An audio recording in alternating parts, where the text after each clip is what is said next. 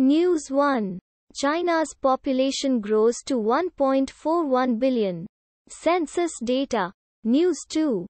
Maharashtra Minister Aaditya Thackeray on vaccinating Mumbai in three weeks. News 3. Twitter donates $15 million for COVID 19 relief in India. News 4. 700 rupees to 1500 rupees. Amid lack of clarity. What private hospitals are charging? News 5. COVID rumblings within. BJP leaders in up complain as Gove puts up a brave face. News 6. India COVID latest news live updates.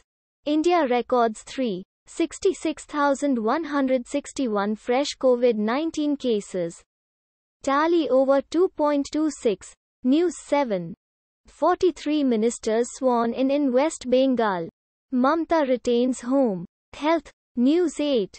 COVID 19. No data to show double mutant variant is resistant to vaccination.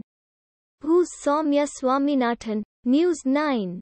300 oxygen plants being set up in UP. Says Yogi Adityanath. News 10. Need to take note of serious setbacks in assembly polls.